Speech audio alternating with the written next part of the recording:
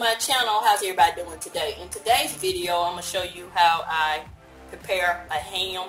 This is a spiral sliced ham with the bone in and the item that I use is brown sugar and I always use pineapple slices with the heavy syrup.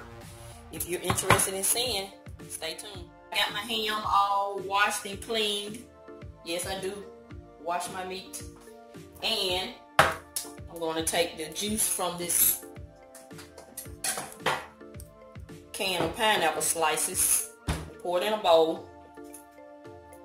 Then I'm going to add my brown sugar. So this video is part of the hashtag, hashtag quarantine cook with me at home that's being hosted by Denise Jordan and Kenya over at Kenya's Decor Corner and we just giving you um, four weeks. This is the third week.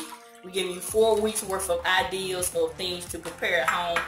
Even though I know they have opened up a lot of places, a lot of us are still um, practicing social isolation and you know not eating not eating out at restaurants. So they came up with this great idea to um, have a four-week series of ideas of things to cook. So I don't measure my brown sugar. I just I just add a generous amount to my pineapple juice.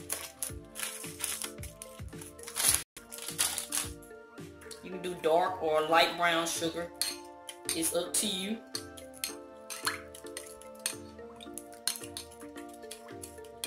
And I have the oven preheated at 350 right now.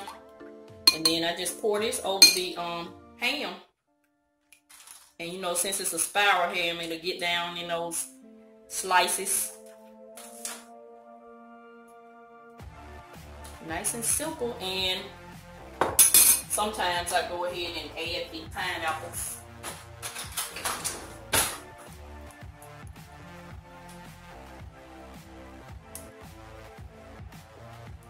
You can put a toothpick in there if you like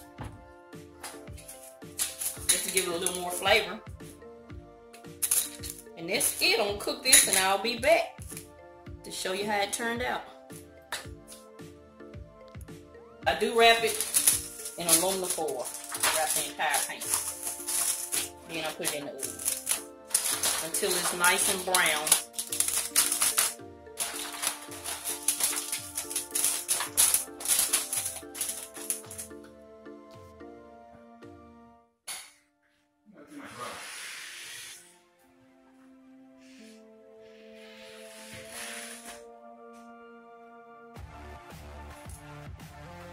So this is my ham all cooked. So to keep it from getting dry, I'll just pour some of the juice over it.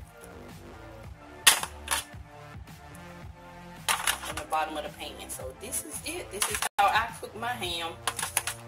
I think I tried the pouring a Coca-Cola over it. I didn't like that. So I, I'm going to stick with my brown sugar and pineapple juice. That's what I've been doing for years. And that's what I like. So I think I'm going to stick with this.